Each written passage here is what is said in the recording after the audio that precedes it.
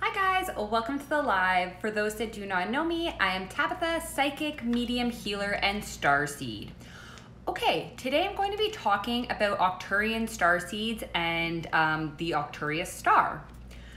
So Arcturus star is actually the brightest in the constellation of Boötis. It comes off as a red star. It is 7.1 billion years old. Um, so the Boötis constellation is actually uh, the fourth brightest in the northern celestial hemisphere. And then on top of that, this Arcturus star is a part of that and is it, its brightest. So its distance from Earth is actually 36.66 light years away.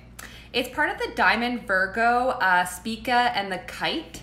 So maybe I can actually pull up um, a picture for you guys. Let's just see here. Um,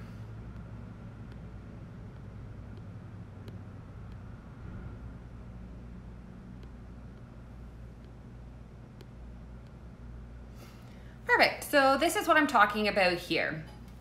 So if you actually follow the Big Dipper, it will take you down to the kite, which will take you really close to um, Arcturus star. And then the next closest to that would be Spica, and this is all part of the, the diamond of Virgo. So this star is actually really unique. Um, it moves at a different angle and speed, which is different from like the way that the stars move in the Milky Way. Um, it was formed, they believe it was formed as a result of a dwarf planet hitting um, or colliding with the Milky Way. Um, so Arcturus is actually a derivative from the ancient Greek word, which ends up translating to bear guardian.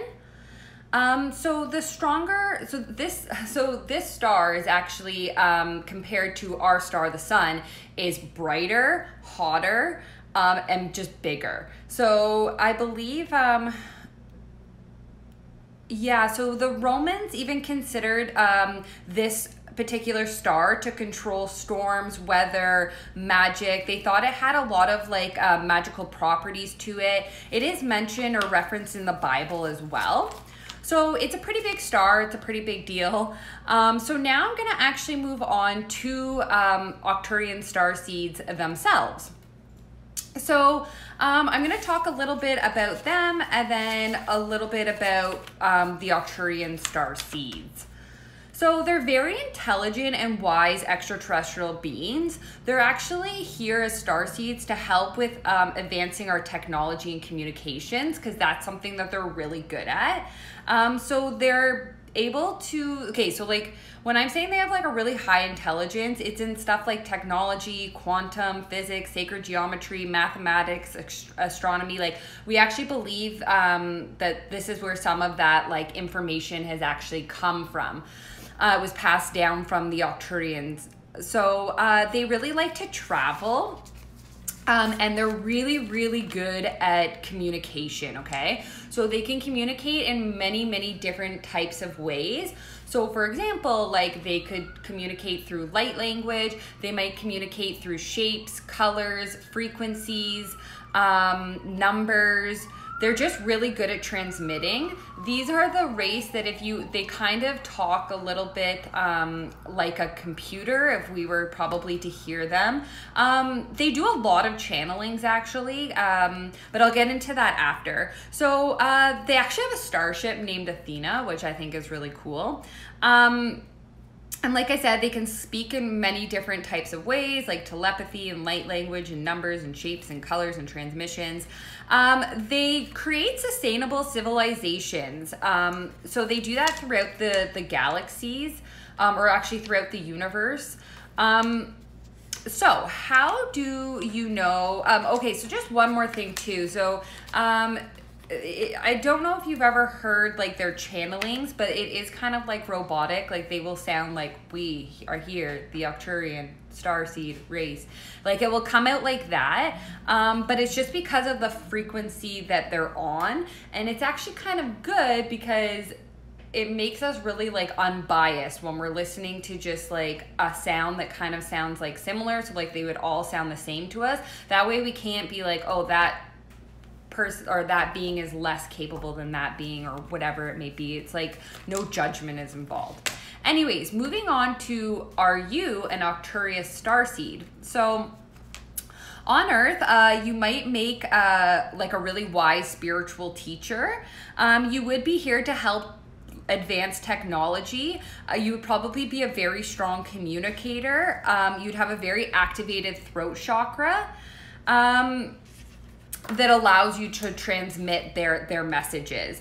Um, they're really loving beings. So here on Earth, they are still really loving, and they love to encourage others.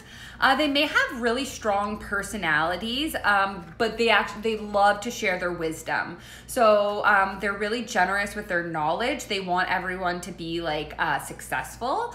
Um, they want everyone to be su- sustainable. Really, they re- they're here to help us um, to become more sustainable in many different um, aspects. Um, so they come off as like very capable, round like well rounded and able to do anything kind of in um the on Earth. Like if you are that type of star seed. Um, since child, you would probably know that you had like a soul purpose or like a unique reason for like being here. Um, usually, it's later in life that they actually really step into their purposes.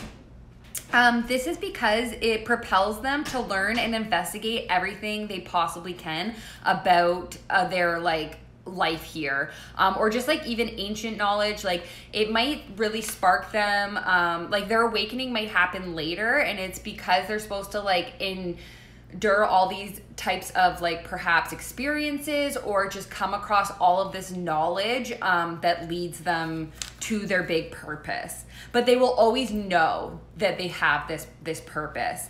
Um, so these beings uh, here on earth um,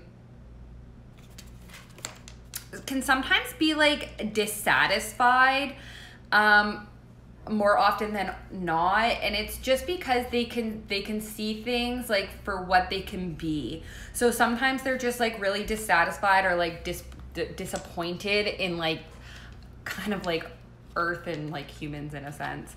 Um, sometimes black uh, they can be the black sheep of like a family or a friend group. Like they're they're usually ones to like stand out. I said they do have very like um unique or strong personalities.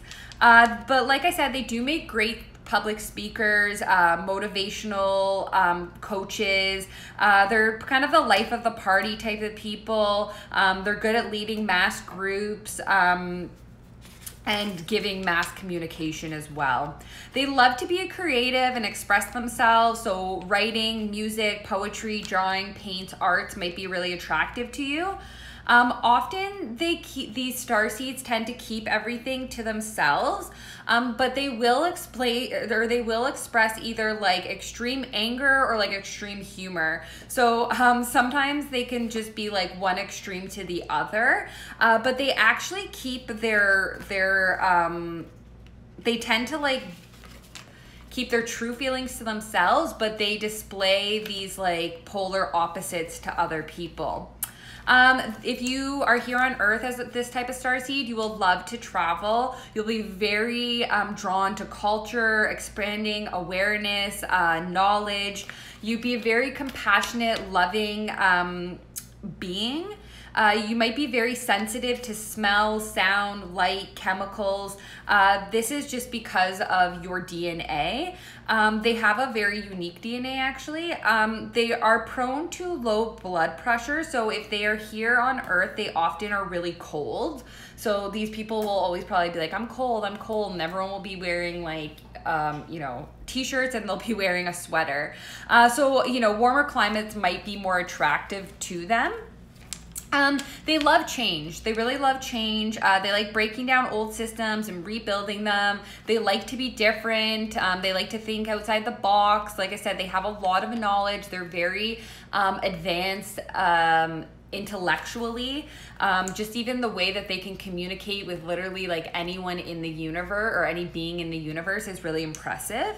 Um, they can sometimes come off distant and detached though, but it's and like a little bit hard to get to know. Um, but once you do, like you will have a friend for life. Like they're extremely loyal in that sense. They can just sometimes be hard to get to know. Uh, I don't. They're not very trusting star seeds.